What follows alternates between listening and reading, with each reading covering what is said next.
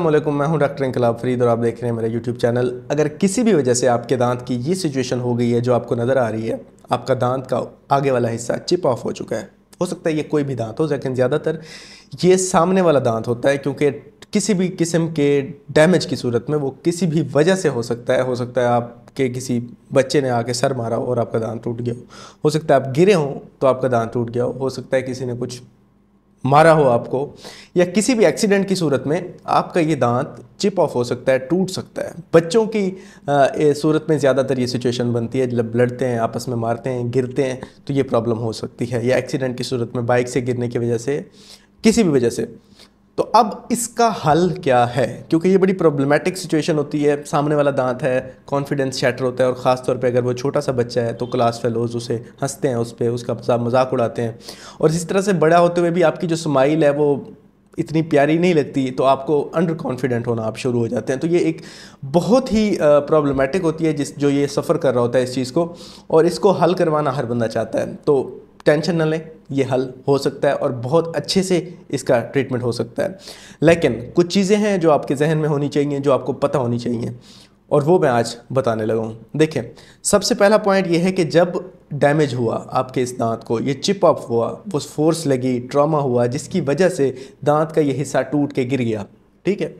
तो अब ये जो दांत है, ये आपके मुँह के अंदर मौजूद एक जानदार आर्गन है। मतलब एक जिसमें ब्लड आ रहा है, जिसमें ज़िंदगी है, जिसमें नर्व्स हैं, जो कि पेन भी फील करता है, जो सेंसिटिविटी भी फील करता है, जिसके अंदर पूरी जान है, समझे आपकी। तो उस सिचुएशन में सबसे पहले ये देखना ज़रूरी होता है कि वो जो पूरा टूथ स्ट्रक्चर है, उसको तो डैमेज नहीं हुआ। अब वो ये नहीं कि सिर्फ़ चिप ऑफ़ जो हो के गया, गिर गया, उसके बाद जो खड़ा हुआ हिस्सा, उसको असेस करना बहुत ज़रूरी होता है कि वो किस हालत में खड़ा हुआ है। तो सबसे पहले हम उसका एक्सरे करते हैं। उस एक्सरे में हम ये देखते हैं कि वो जो ट्रॉमा हुआ है, वो जो फोर्स, वो जो इम्पैक्ट लगा है उस दांत को तो ऐसा तो नहीं हुआ कि वो इम्पैक्ट अंदर तक गया हो, को रूट फ्रैक्चर हो गया हो।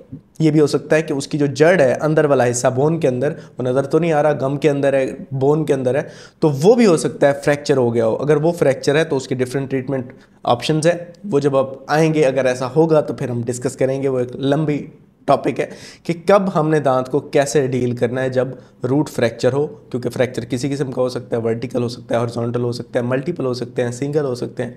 तो वो उसको देखते हुए सिचुएशन को ना डिसाइड किया जाता है कि क्या ट्रीटमेंट प्लान बनना है। लेकिन मोस्ट ऑफ़ द केसेस में कोशिश यही की जाती है कि दांत को सेव किया जाए। अब अब हम आगे चलते हैं। आपकी सिचुएशन ऐसी थी कि रूट फ्रैक्चर नहीं था। लेट्स सपोज़ हम अच्छा अच्छा सोचते हैं। रूट फ्रैक्चर नहीं था, दांत आपका बिल्कुल ठीक है और अब और क्या हो सकता है?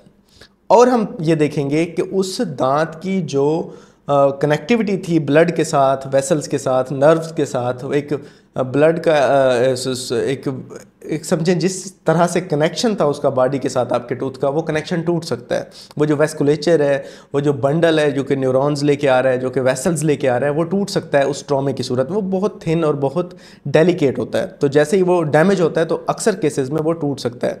तो जिसके नतीजे में वो जो पल्प है, वो डेड हो सकती है और बाद में वहाँ पर इन्फेक्शन भी हो सकता है। एक और केस में भी इन्फेक्शन हो सकता है, वो ये कि अगर आपका दांत जो टूटा है, वो इस लेवल पर टूटा है कि वो जो अंदर वाला दांत का पल्प टिश्यू था, वो एक्सपोज हो गया। वो जैसे ही एक्सपोज होगा तो बाहर से सारे बैक्टीरिया जरासीम सारे अंदर, दांत के अंदर दाखिल होना शुरू हो जाएँगे और जिसके नतीजे में इन्फेक्शन हो जाएगा आपके दांत का। अब इन सारी सिचुएशंस में इन्फेक्शन की सूरत में या अगर पल्प का डिस्कनेक्शन हो गया है तो उस सिचुएशन में हम दांत की पहले रूट कैनाल ट्रीटमेंट करेंगे। अब देखें, बात यह है कि जब बिल्डिंग के ऊपर हम जाते हैं तो पहले उसकी बेस को बड़ा कॉन्फिडेंस के साथ स्टेबल किया जाता है। ऐसा ना हो कि हम ऊपर बिल्डअप करें सारा कुछ करें घर बना दें खूबसूरती से सारा कुछ का ख्याल रखें लेकिन उसकी जो बेस हो वो वीक हो वो ख़राब हो तो बिल्डिंग सारी कोलेप्स कर जाएगी। तो इसलिए बहुत इंपॉर्टेंट है कि टूथ की जो रूट है टूथ का जो अंदर वाला हिस्सा है जो नज़र भी नहीं आ रहा उसको ठीक करना पहले ज़रूरी हो, होता है।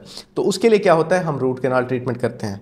अब एक और सिनेरियो हो सकता है कि आपका जो दांत था, वो ग्यारह बारह साल पहले एक्सीडेंट हुआ था। आप छोटे से बच्चे थे, वो गिर गए तो टूट गया। फिर आपने ख्याल नहीं किया, अब आपकी शादी होने वाली है। अब आपको ध्यान पड़ रहा है कि मेरा दांत बुरा लगता है, शादी की पिक्चर्स अच्छी नहीं आएँगी, रिश्ते वाले क्या कहेंगे? तो अब आपने वो दांत बनवाने के लिए आए हैं ग्यारह बारह साल बाद या इवन के सत्रह साल बाद।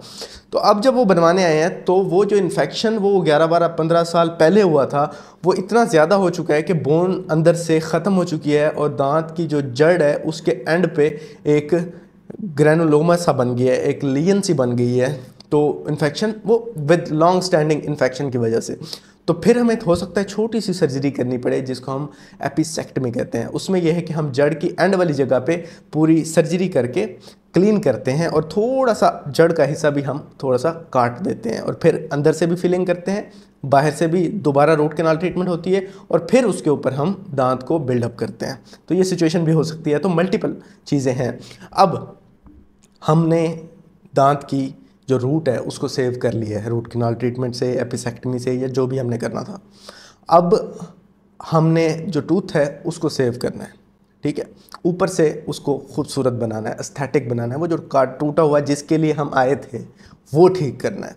ये तो आपने पंगा डाल दिया ना डॉक्टर साहब ने, कि उसका रूट कनाल ट्रीटमेंट होगी, उसका ये होगा। आप तो आए थे उस दांत की ऊपर वाले हिस्से की फिलिंग के लिए। तो उसके क्या ऑप्शन है? उसके ऑप्शंस की तरफ़ मैं अब आ जाता हूँ। उसके ऑप्शंस में सबसे पहली जो बात है वो ये है कि हम अगर छोटा सा हिस्सा है या थोड़ा बहुत है टूथ की जो स्ट्रक्चर है वो ज़्यादातर मेंटेन्ड है तो सबसे पहला स्टेप होता है हम कंपोजिट फिलिंग से एक टूथ कलर्ड फिलिंग होती है, जो कि बिल्कुल टूथ की शेप की होती है। फील नहीं होता कि फिलिंग हुई भी है तो वो फिलिंग हो जाती है। दांत के ऊपर और बिल्कुल आपका नेचुरल लुकिंग टूथ बन जाता है और ये हम अक्सर करते हैं रेगुलर बेसिस पे। अब इसका इशू ये है कि अगर तो टूथ स्ट्रक्चर बहुत ज़्यादा लॉस हो चुका है तो वो फिलिंग जो है इतनी अरसे तक शायद रहे ना विद स्टैंड ना कर सके फोर्सेस को और वो टूट के गिर जाए, निकल जाए। दूसरी सिचुएशन में ये हो सकता है कि वो जो फिलिंग है, वो कुछ अरसे बाद अपना कलर क्योंकि वो प्लास्टिक फिलिंग होती है तो वो कलर थोड़ा सा चेंज करती है, क्योंकि आपने गर्म खाना है, ठंडा खाना है, चाय पीनी है कॉफ़ी लेनी है तो वो कलर थोड़ा सा अब्जॉर्ब करके वो थोड़ा सा स्टेन कर सकती है। आप, वो जो उसका नेचुरल कलर है, वो डिफरेंट हो जाएगा उसके दांत के कलर से। तो इसलिए थोड़ा अरसे बाद आपको चेंज करानी पड़ सकती है। दूसरे, तीसरे नंबर पर यह है कि वो जो फिलिंग है वो हो सकता है आपका जो टूथ है वो कलर अपना कम्प्लीटली चेंज कर चुका हो। तो फिलिंग आपके वो जो changed colour of the tooth है ब्राउन हुआ हुआ टूथ है तो उसके कलर को कम्प्लीटली मास्क ना कर सके। तो इन सारी सिचुएशंस में या इन थोड़ी सी लिमिटेशंस की वजह से कंपोजिट फिलिंग से एक अच्छा ऑप्शन ये होता है कि हम वेनियरिंग की तरफ़ जा सकते हैं, कि टूथ का जो ऊपर वाला सरफेस एरिया है, जो सामने से नज़र आता है, उसके ऊपर एक कवर लगा दें। लैब से बना हुआ, जिस कलर का हम चाहें, जिस कलर के बाकी दांत हैं तो उस सिचुएशन में हमारा जो जो हल है, बड़ा अच्छा हो सकता है। तीसरे नंबर पे हम ये भी कर सकते हैं कि हम कम्प्लीटली अगर टूथ बहुत ज़्यादा लॉस हो चुका है टू थर्ड से ज़्यादा लॉस हो चुका है तो फिर हम एक क्राउन लगा सकते हैं। क्राउन की सिचुएशन में ये होती है कि सबसे बेस्ट जो है वो जिरकोनिया या ई मैक्स का क्राउन हम लगा सकते हैं, जो कि बिल्कुल टूथ कलर्ड होता है नेचुरल होता है। दिखने में भी फील नहीं होता कि कोई कुछ क्राउन लगा हुआ है और ये बहुत लॉन्ग लास्टिंग होता है, इसकी जो लाइफ है वो 15 टू 20 ईयर्स तक है। उस टाइम तक तो बिल्कुल भी ये परेशान नहीं करता। तो इसलिए वो बेस्ट समझा जाता है और वो परमानेंट सॉल्यूशन के तौर पे लोग यूज़ करते हैं। तो ये सारी सिचुएशन है कि जब हम आपके दांत के साथ ये सिचुएशन होगी, लेकिन अब आपके केस में कुछ भी हो सकता है।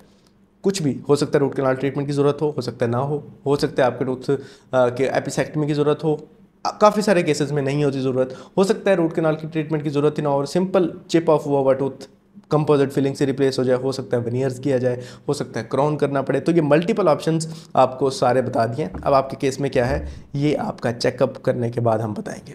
तो अगर ऐसा आपके साथ है, आपके किसी दोस्त के साथ है, जिसकी शादी करीब है, या कोई इवेंट आना, आने वाला है तो असल में यूनिवर्सिटी लाइफ में जाने से पहले लोग अक्सर कॉन्शियस हो जाते हैं। या शादी के वक्त, या शादी के बाद, या जब उनकी फाइनेंशियल सिचुएशन अलाउ करती है कि यार, अब हम अपने थोड़ा सा सेहत को, अपने पर्सनालिटी को थोड़ा ग्रूम करें। अब पैसे आ गए हैं, पहले स्ट्रगल कर रहे थे तो अब थोड़ा सा ख़ुद को बेहतर करें तो फिर ये चीज़ों को सही करते हैं लोग। तो या फिर फ़ौर आपका एक्सीडेंट हो सकता है, हुआ हो तो उस सिचुएशन में भी तो मसला ये है कि जितनी जल्दी हो सके, उतनी जल्दी आ जाएँगे ना तो treatment as soon as possible उतनी ही आसान हो जाएगा, उतना ही प्रिडिक्टेबल होगा, और उतना अच्छा हो जाएगा, उतना सस्ता हो जाएगा। Thank you so